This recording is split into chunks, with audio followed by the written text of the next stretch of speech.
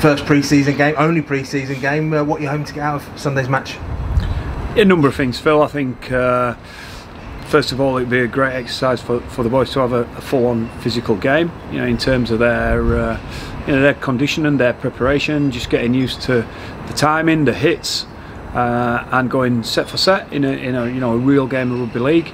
I think we'll look at some different combinations too. I think it's going to give some of the young guys an opportunity to get the best foot forward, um, and there'll be some certain, I guess, areas, principles, if you like, that we'll look to, you know, we'll, we'll look to get a good start on. Certainly our effort areas and make sure our communication and organisation in, in defence is right. You know, I'm not expecting us uh, to hit the ground running offensively. Um, clearly, we're working towards round one and uh, Luke's obviously returned to training. We've got Kyle Eastmond in, so uh, we think both those boys are on track uh, for a start in round one. Uh, but we're not going to risk those uh, those fellas this weekend. Uh, it's a little bit too soon for them, and that's same with a couple of boys that are, you know, Matty Prior being another that is just back into it. So what it'll do, it'll give us a bit of a, you know, half and half in terms of seniors and the young guys coming through and for those guys, Sam Walters, Jack Broadbent, Corey Hall, it's a, a terrific opportunity to get the best foot forward. Yeah, it's been noticed with those guys that have been there every day in pre-season. Is this a good reward for them and a chance to, to show what they've what they've gained over the last few months? Well, it's about opportunity, and, and while it is you know while it is a trial game, very much they have got an opportunity to make an impression on the coaches, uh, and you know, as, I, as I've said a couple of times this week when I've been speaking to the press, uh, we're still unsure of our team for round one.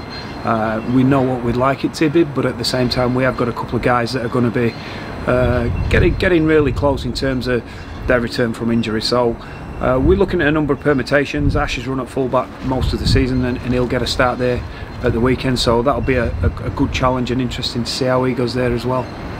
And Huddersfield, obviously, new coach uh, and a fair few changes to their squad. Normally, a friendly game, you, are not expecting too too much challenge, but they'll be out to impress their, their new coach. It's going to be a real competition.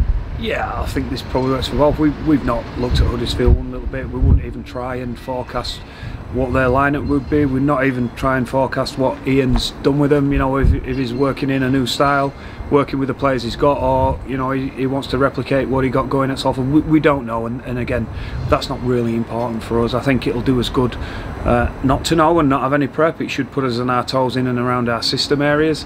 Uh, and yeah, where Huddersfield's concerned, you would expect with. Uh, with a new coach coming in and some new players that a bit like our young boys really they want to get the best foot forward. Have you noticed the spring in the step of the lads this week knowing there's a finally a game at the end of the week?